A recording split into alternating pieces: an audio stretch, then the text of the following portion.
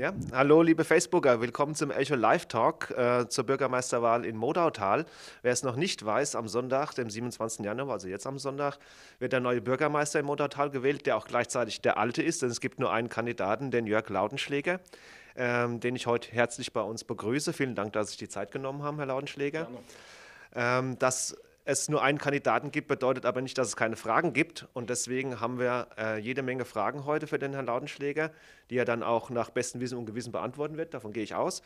Äh, ihr hattet im Vorfeld ja auch die Möglichkeit, Fragen zu stellen. Äh, die Möglichkeit hat leider keiner genutzt, aber das ist nicht schlimm. Äh, ihr könnt sie jetzt noch nutzen, die, die, Möglichkeit. Also wer uns sieht, ihr könnt live über den Facebook, über die Kommentarfunktion Fragen äh, stellen. Die bekommen wir dann hier reingereicht und werden sie dann dem Herrn Lautenschläger, so sie denn Fragen sind, die er beantworten kann, dann auch stellen. So, ganz kurz zum Ablauf noch. Ähm, wir werden jetzt ganz kurz mit dem Herrn Lautenschläger äh, reden. Und ähm, ja, danach äh, werden wir äh, ein kurzes Summary führen. Wir halten uns also gar nicht lange auf mit Vorreden, sondern legen eigentlich gleich los. So, und dann fangen wir gleich mit der ersten Frage äh, äh, an. Herr Lautenschläger, also ich muss uns erst noch vorstellen, das hätte ich ja beinahe noch vergessen. Entschuldigen, da sitzt ja noch einer in der Runde. Das ist der Matthias Vogt, der ist Redakteur in der Landkreisredaktion Darmstadt-Dieburg und für Modautal zuständig. Den Herrn Lautenschläger habe ich noch vorgestellt und mein Name ist Thomas Bach, ich bin der Redaktionsleiter in der Redaktion und wir zwei quetschen jetzt den Herrn Lautenschläger aus. Damit fangen wir an. Herr Lautenschläger, Sie sind der einzige Kandidat bei der Bürgermeisterwahl am Sonntag in Modautal. Liegt das daran, dass Sie so gut sind oder weil es einfach eine Aufgabe ist, die hochverschuldete Gemeinde zu lenken? Eine schwere Aufgabe, Entschuldigung. Es ist bestimmt keine leichte Aufgabe, aber es ist auch eine sehr schöne Aufgabe. Ich mache diesen ja, Beruf mit viel Leidenschaft und ähm, was andere dazu bewegt, nicht anzutreten, oder eventuell anzutreten, das kann ich ähm, schwer beurteilen. Ähm, ich habe einfach versucht, in den letzten Jahren mit allen gut in Modautal zusammenzuarbeiten, mit allen Parteien ja, und meine Arbeit für Modautal gut zu machen. Was Ihnen ja anscheinend gelungen ist. Wir wechseln uns ab mit Fragen. Ich erkläre es ganz kurz. Wir machen einen kleinen Staffellauf. Wir sind äh, nicht so mit Geld geschlagen, dass wir so viel Geld hätten für jeder Mikro. Deswegen geben wir das Mikro einfach. Also wundert euch nicht, wir geben es einfach mal einfach durch. Eins reicht ja auch. Also das alles bestimmte Thema in Modautal seit vielen Jahren ist äh, der Schuldenberg, den äh, die Gemeinde hat, der auf der Gemeinde lastet. Ich habe nochmal nachgeschaut. Im Jahr 2007 waren es 14,5 Millionen Euro. In den vergangenen Jahren ist der Berg geschrumpft um 5,2 Millionen.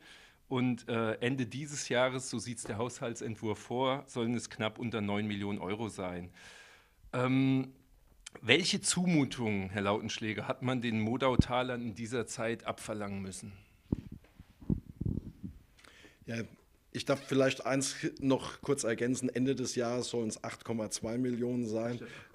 Nein, 8,2 äh, wollen wir Ende des Jahres erreicht haben. Jetzt sind wir ungefähr bei 9,3 Millionen. Mhm. Aber das sind natürlich alles Zahlen.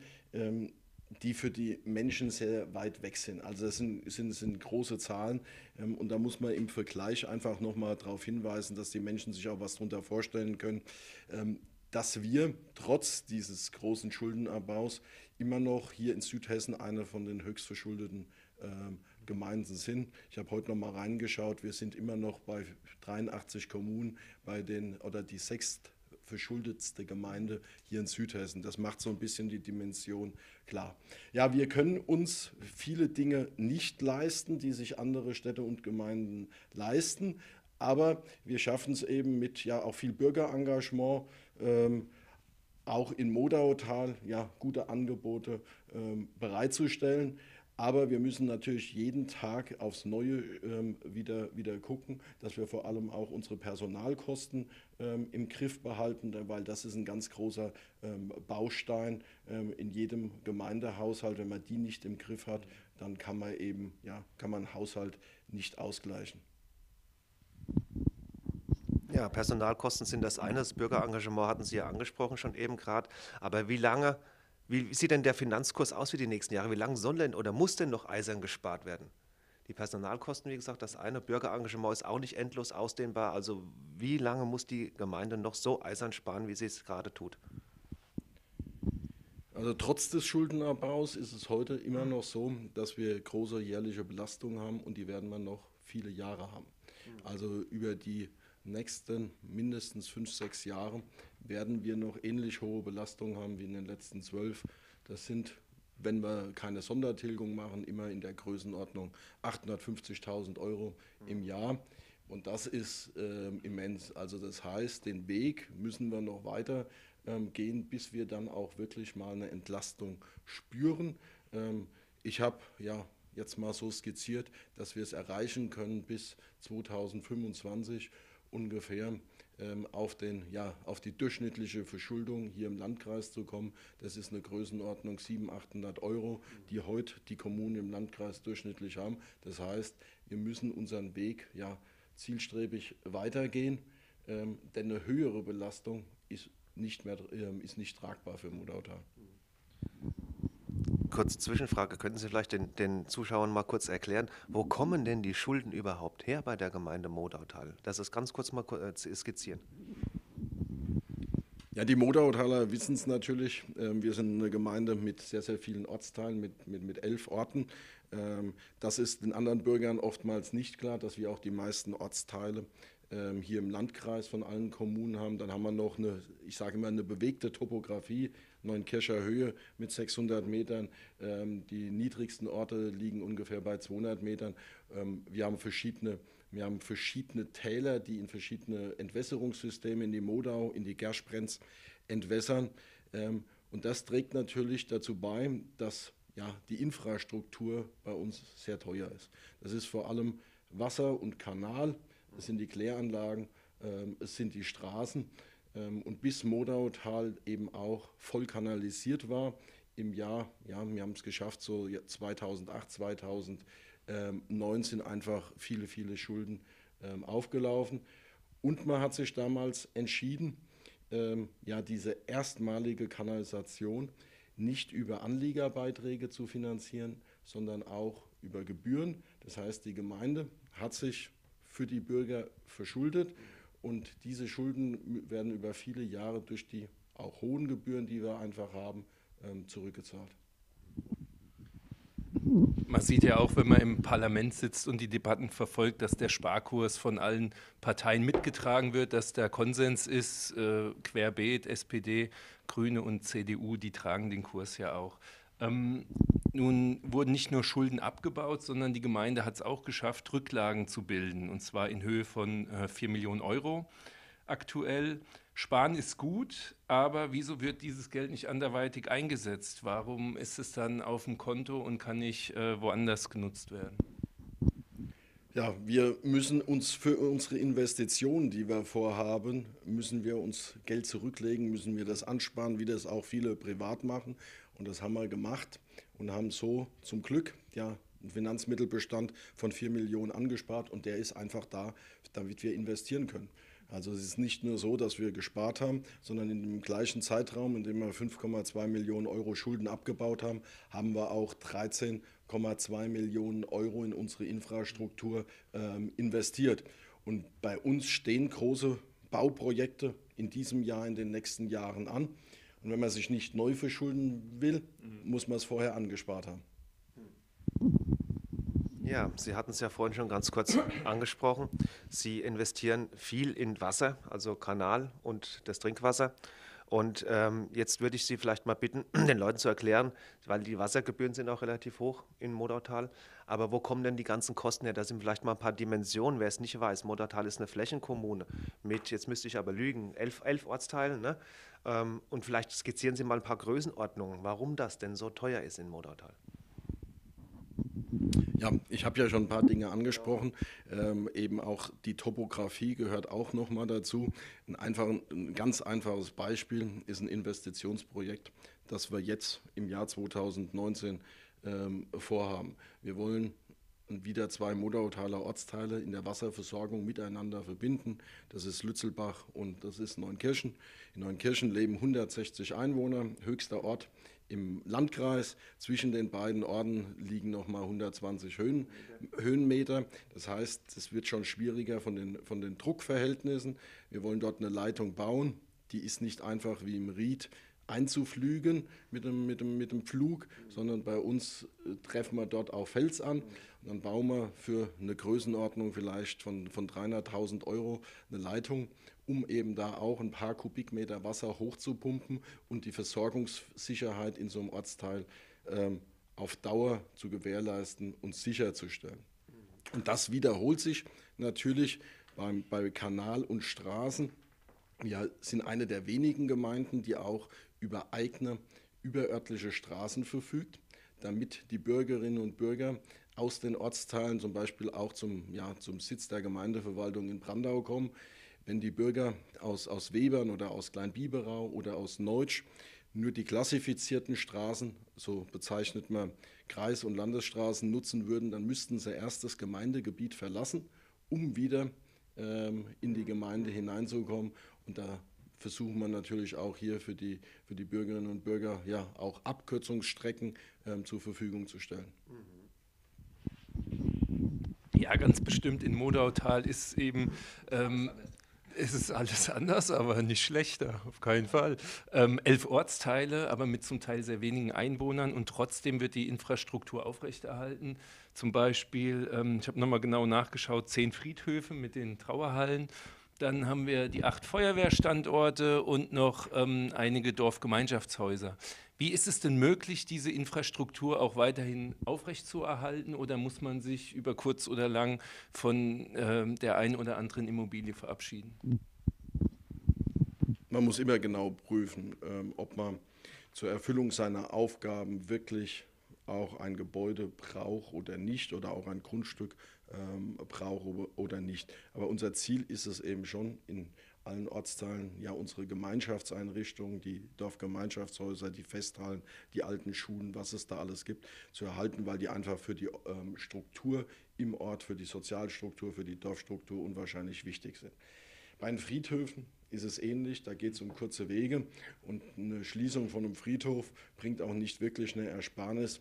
Wir haben da Ruhefristen von 30 Jahren, also frühestens in 30 Jahren. Äh, ähm, müsste der Friedhof dann nicht mehr gepflegt werden. Ich glaube, das macht keinen Sinn. Mhm. Und ähm, die Menschen haben an der Stelle auch dann kurze Wege. Aber man muss, muss es halt sagen, dass das dann eben auch zu unserer Gebührenstruktur beiträgt. Die Trauerhallen zum Beispiel. Die Trauerhallen, ja. Aber bei den Feuerwehren ist natürlich auch ein gutes Beispiel. Da wissen Sie ja, dass wir uns Gedanken machen um eine das, Zusammenlegung. nachher noch in Ruhe drauf. Der Feuerwehrstützpunkt genau. ja, ja. und da macht das auch Sinn. Ja, genau. Sie hatten es vorhin schon erwähnt, Stichwort bürgerschaftliches Engagement. Was leisten denn die Bürger alles im Modertal für die Gemeinde, wenn Sie das vielleicht mal kurz erzählen könnten? Das ist nämlich bestimmt auch anders als anderswo. Wir haben die Bürgerhäuser angesprochen. Wir haben in der Regel bei den Bürgerhäusern keine hauptamtlichen Hausmeister, wie das sonst üblich ist. Es wird vor Ort, manchmal haben wir einen Mini-Chopper bei den größeren äh, Bürgerhäusern, aber es wird vor Ort auch viel durch die Vereine ähm, in die Bürgerhäuser an Arbeit investiert. Wir haben in den letzten Jahren das Bürgerhaus in Brandau ähm, saniert. Dort haben die Vereine mit angepackt, Wände rausgerissen, ähm, an, an dem Gebäude gearbeitet. Wir haben das kleine Dorfgemeinschaftshaus für Neutsch neu gebaut und haben von Anfang an gesagt, dort wird es keine Hausmeisterstelle geben. Das muss vor Ort organisiert werden. Es ist euer Gebäude, es muss organisiert werden. Ähm, wer danach schaut, ähm, wie es vermietet wird, das sind so Beispiele. Und dann natürlich ähm, auch die Dinge, ähm, ja, Feuerwehr im Feuerwehrbereich, da haben wir ja sehr, sehr viele Einsatzkräfte und ähm, die Feuerwehrleute sind auf allen Feldern in der Gemeinde aktiv, im, also natürlich bei den Einsätzen, aber eben auch im Vereinsleben. Wir hatten auch schon angesprochen, hohe Fixkosten gibt es bei der Gemeinde. Es wird die Infrastruktur aufrechterhalten. Es wird dazu noch eisern gespart. Ähm, welchen Gestaltungsraum haben Sie eigentlich noch als Bürgermeister? Zum Beispiel Ihr vormaliger ähm, Amtskollege Speckhardt in Fischbachtal hatte ja auch äh, nicht mehr kandidiert, weil er gesagt hat, ich habe keinen Gestaltungsraum, ähm, ich mache das nicht mehr weiter. Was können Sie denn in Modautal dann noch bewegen? Die Spielräume sind eng und es setzt immer mal voraus, dass man eben ja, die Verwaltung gut organisiert. Dann hat man etwas größere äh, Spielräume, aber ich denke, uns ist es gelungen, auch in den letzten Jahren ja unsere Spielräume auszunutzen. Ich habe eben ja einen Neubau von einem, von einem Dorfgemeinschaftshaus angesprochen. Ich glaube, das ist nicht so typisch, dass, man, dass, dass eine Gemeinde das in diesen Zeiten ähm, gestemmt hat. Ganz am Anfang von meiner Amtszeit wurde das Feuerwehrhaus in Lützelbach fertiggestellt, ähm, also war auch ein Neubau von einem, von einem Feuerwehrgerätehaus mit ganz, ganz viel ähm, Eigenleistung. Aber wir haben auch, wir haben Straßen saniert, wir haben unsere Kinderbetreuung ähm, ausgebaut. Wir haben jetzt unsere für die, für die Kinderbetreuung die Anmeldung rausgeschickt haben keine Warteliste, sondern es passt mit allen Anmeldungen. Ähm, ich denke, man hat schon Möglichkeiten, eben auch bei knappen Kassen zu gestalten, ähm, indem man eben ja, genau schaut, was man auch mit den Mitteln macht. Und trotzdem gibt es ja Kritiker, die Ihnen vorwerfen, Sie sind weniger Gestalter als nur Verwalter. Was sagen Sie denn diesen Leuten? Als erstes muss man mal ordentlich verwalten, damit man eben auch was äh, gestalten kann. Ähm, und das machen wir. Dafür gibt es natürlich ähm, viele Beispiele. Ähm, ich habe viele Ideen für die Zukunft. Ich weiß, dass wir viele Aufgaben haben. Aber das sage ich auch ganz deutlich. Ich ähm, bin nicht derjenige, der die Vision für 2050 an die Wand malt, mhm. sondern ähm, ich glaube, man muss einen Plan haben ja, für, die, für die nächsten Jahre. Und wenn es eine langfristige Entwicklung gibt, die mir wichtig ist, dann ist es das, dass wir nur das ausgeben, was uns heute zur Verfügung steht und nicht unsere Kinder und, uns, und die nächsten Generationen ähm, weiter belasten. Die brauchen nämlich auch noch Gestaltungsräume für ihre Ideen. Ähm, und wenn mir jemand sagt, ähm, ja, dass dann ja alles für die Zukunft erledigt ist, da glaube ich nicht dran, sondern die werden ihre eigenen Herausforderungen haben, ganz neue, an die wir vielleicht heute noch gar nicht denken, vielleicht durch, auch durch Klimawandel neue Herausforderungen, aber eben auch ganz andere, die wir uns vielleicht noch nicht vorstellen können. Schauen wir nicht auf die Vision 2050, sondern wagen nur einen Blick in die nähere Zukunft. Ähm, was glauben Sie, wo Sie ja ähm, wohl auch der neue Bürgermeister dann sein werden bei nur einem Kandidaten. Ähm, was wird die größte Herausforderung für Modautal in den kommenden sechs Jahren? Also als erstes lassen wir mal die Bürgerinnen und Bürger am Sonntag wählen. Es gibt eine Ja-Stimme oder eine Nein-Stimme, also es gibt auch an der Stelle eine Wahl. Ähm, und ob ich in den nächsten sechs Jahren der Bürgermeister bin, das möchte ich ganz gerne dann eben auch abwarten, wie die Wahl am Sonntag ausgeht. Gut, dann gesetzt den Fall, ähm, den ganz äh, unwahrscheinlichen Fall, dass Sie auch künftig Bürgermeister sein werden. Was, würden dann, was würde die größte Herausforderung wohl sein in den nächsten sechs Jahren? Also wir hatten eben schon mal ganz kurz angeschnitten das Thema auch ähm, Feuerwehr. Das ist natürlich ein Bauprojekt Feuerwehr Modautal Nord. Das wird uns in den nächsten Jahren beschäftigen, weil es ein Investitionsvolumen hat. Ähm, das für Modautal nicht alltäglich ist. Ähm, das wird mit Sicherheit in den nächsten Jahren ein ganz großes Thema sein. Ähm, daneben haben wir mehrere große Projekte laufen im Bereich Straßenbau ähm, mit auch einem sehr hohen Investitionsvolumen. Und dann glaube ich, es wird auch wie in den vergangenen Jahren so sein, dass wir viele Neuerungen noch bei der Kinderbetreuung erleben. Das war eine Hauptaufgabe der Städte und Gemeinden in den letzten 10, 12 Jahren, die Kinderbetreuung an die, ähm, ja, die Kinderbetreuung anzupassen, einjährigen Betreuung aufzubauen, Öffnungszeiten ähm, zu verlängern. Aber ich glaube, diese Entwicklung ist nicht abgeschlossen, sondern die wird weitergehen, weil die Vereinbarkeit von Familie und Beruf einfach ganz, ganz wichtig ist. Dann äh, beschäftigen wir uns jetzt mit dem Themenkomplex Feuerwehr. Ähm, Sie hatten es angesprochen, vielleicht für alle, die es noch nicht so ganz mitbekommen haben, östlich von Ernsthofen an der Kreisstraße nach Asbach ist ein Standort ausgesucht werden, wo der ähm, neue Stützpunkt dann äh, Feuerwehr Modautal Nord auch gebaut werden soll.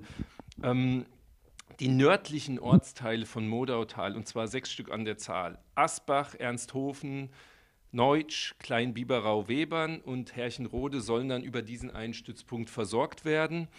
Ähm, wie groß ist Ihre Sorge, dass durch die zentrale Feuerwehr die Mitglieder aus den einzelnen Ortsteilwehren verloren werden?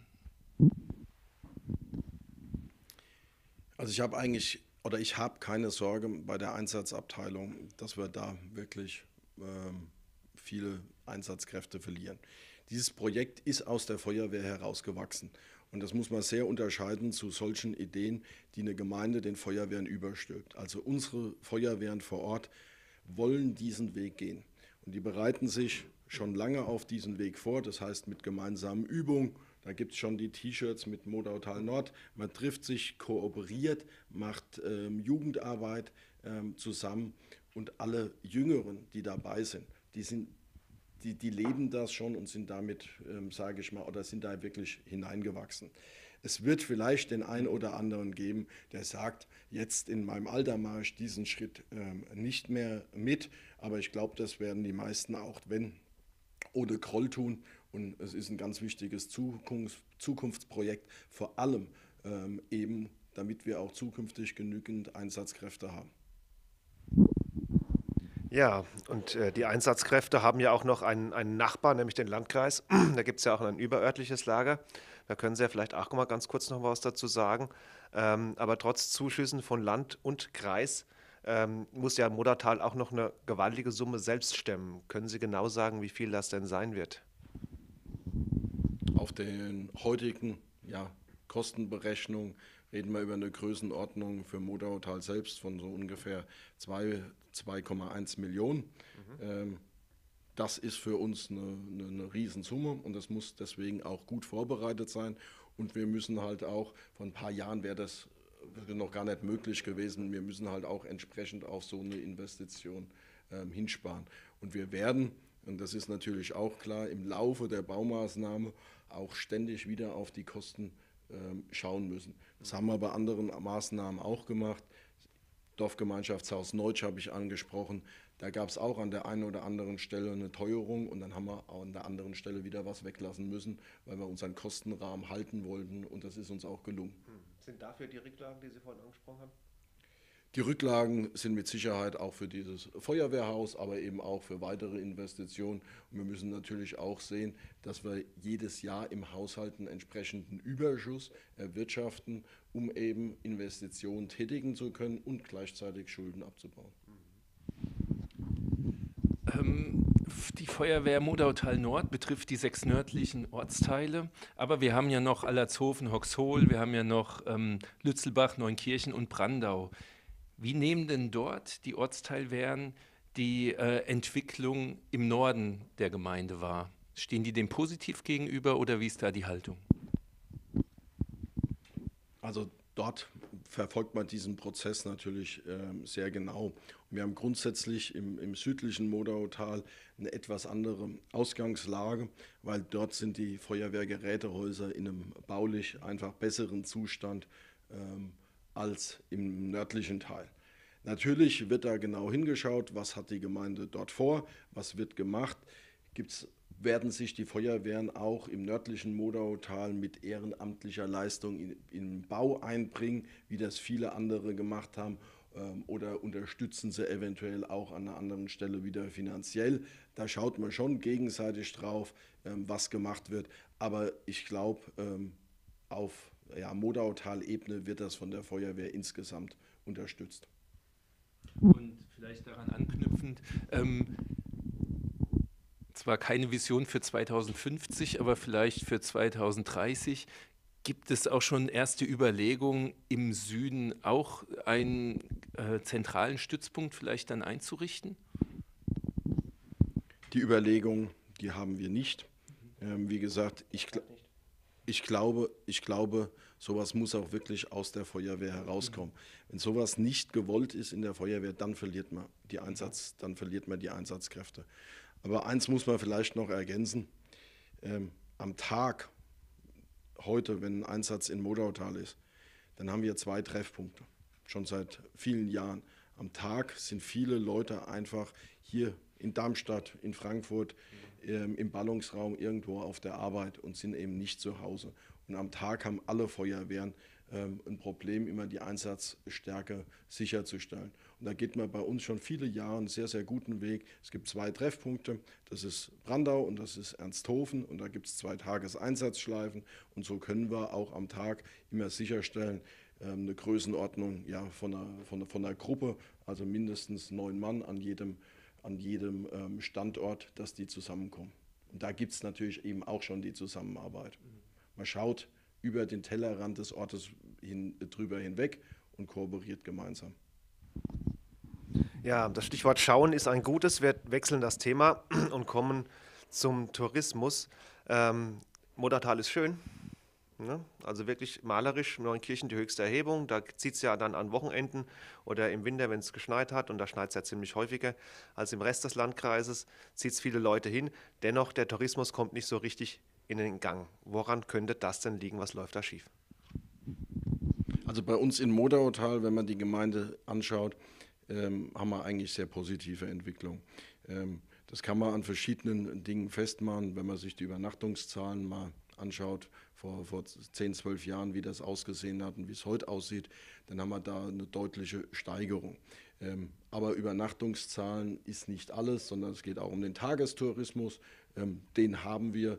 Ähm, da gehen viele Menschen, die zu uns kommen, in die Gaststätten, das ist wichtig.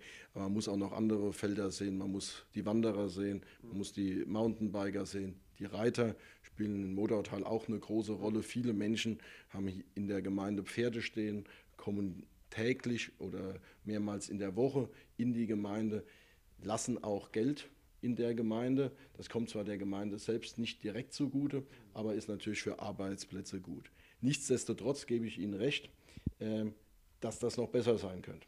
Ähm, und da ist natürlich ein Problem, dass wir hier ähm, im, im Odenwald ja mehrere Landkreise haben, mehrere Bundesländer und dass diese Vermarktung für eine Region wie den Odenwald, die überregionale Vermarktung, die, die muss noch besser werden. Ähm, und ich glaube, da haben wir einfach noch ein sehr, sehr großes Potenzial in der gesamten Region, auch wenn wir bei uns doch, denke ich, sehr positive Entwicklungen haben. Steht jetzt aber nicht auf äh, Ihrer Agenda ganz oben das Thema, oder? Das Thema ähm, steht schon auf meiner Agenda und ich habe da auch ja, Zeit investiert ähm, auch ja, über die Gemeinde hinaus versuche ich mich als, als zweiter Vorsitzender im, im Gesamt-Odenwald-Club zu engagieren, im Geo-Naturpark, der hier eine ganz wichtige Rolle spielt und den Touristikservice Odenwald auch.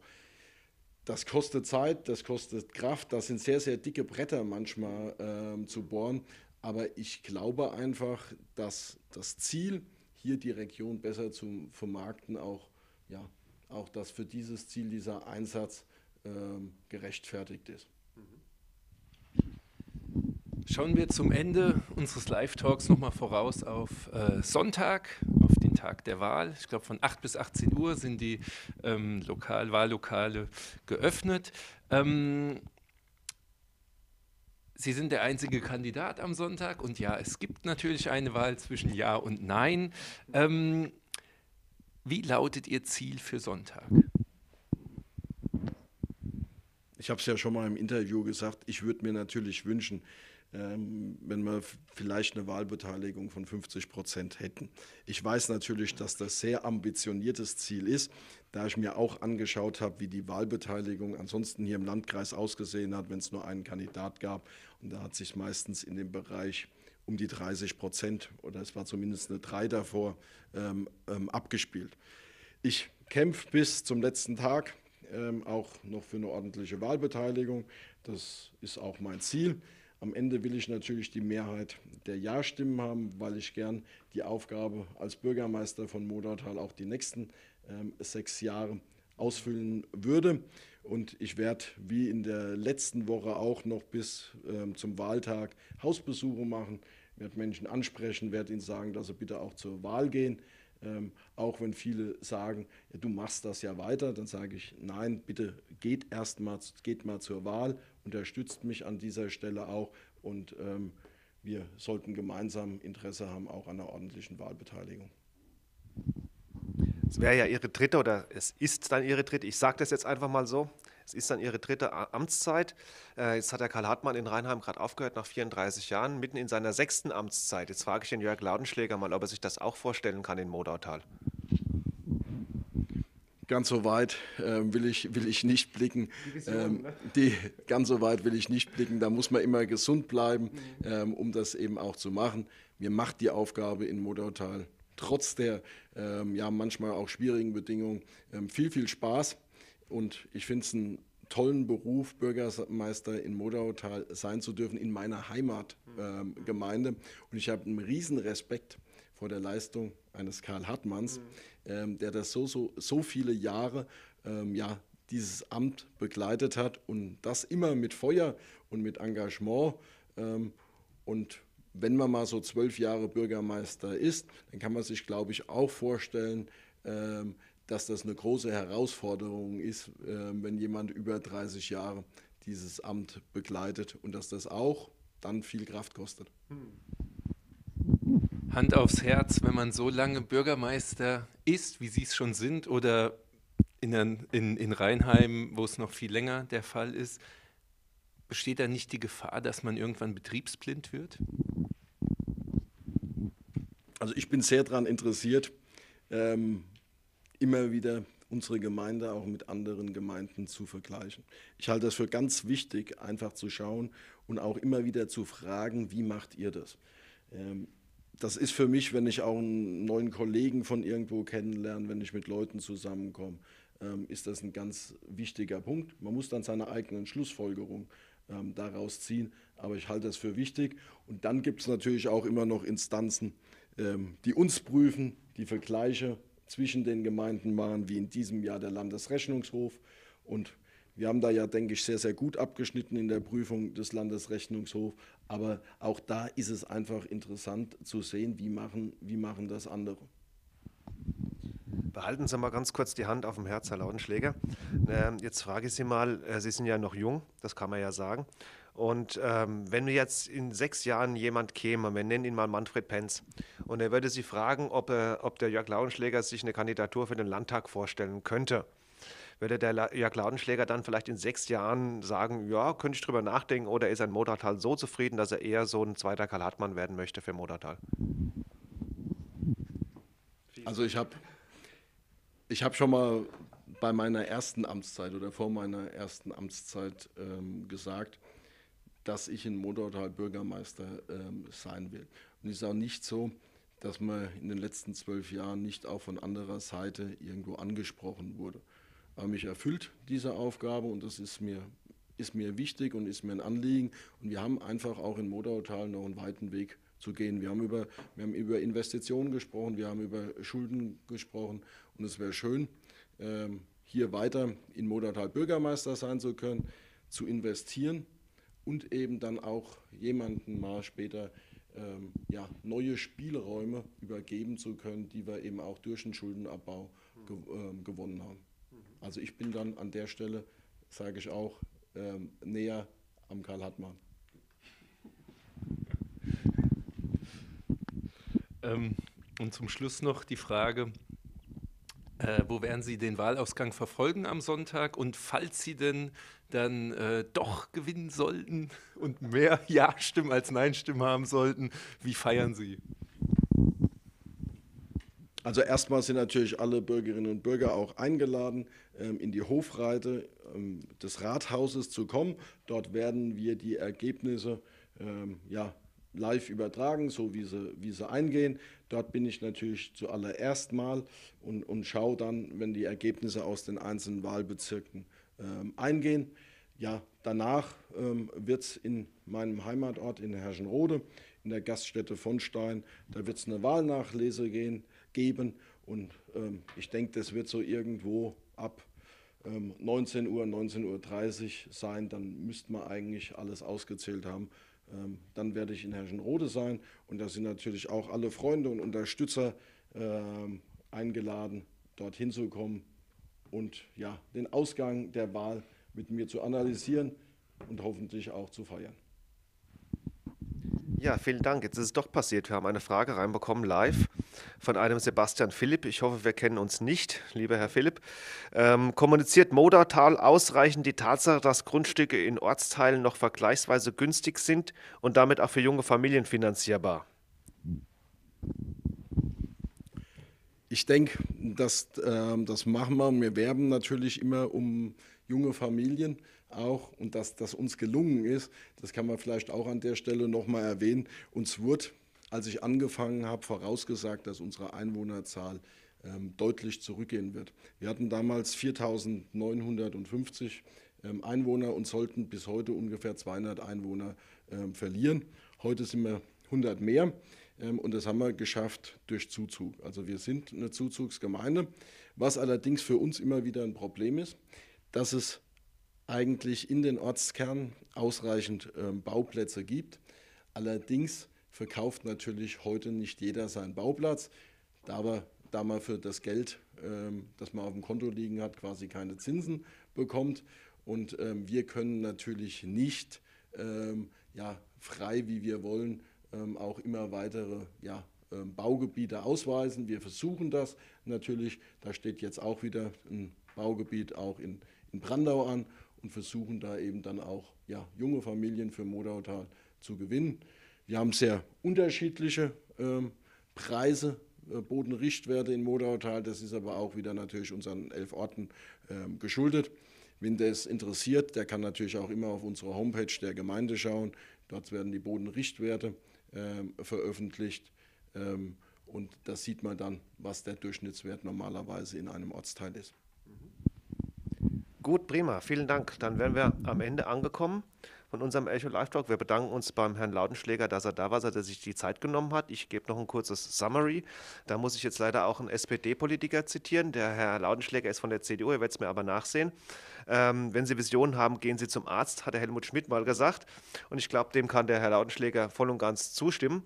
Äh, wenn ich jetzt im Laufe der Debatte richtig verstanden habe, wird er das Machbare im Auge behalten, in Modertal bleiben und weiterhin dafür sorgen wollen, dass sich die Gemeinde nach und nach weiterentwickelt. So, prima. Wenn es zu schnell gegangen ist jetzt, der kann das Ganze am Donnerstag nochmal in der Zeitung nachlesen. Aber auch das komplette Video vom Live-Talk wird nochmal online stehen. Ihr könnt das dann über einen Link, der im Artikel bei echoonline.de sein wird, äh, finden oder eben auf unserer Facebook-Seite. Ja, da bedanken wir uns und wünschen euch noch einen schönen Abend. Macht's gut. Tschüss.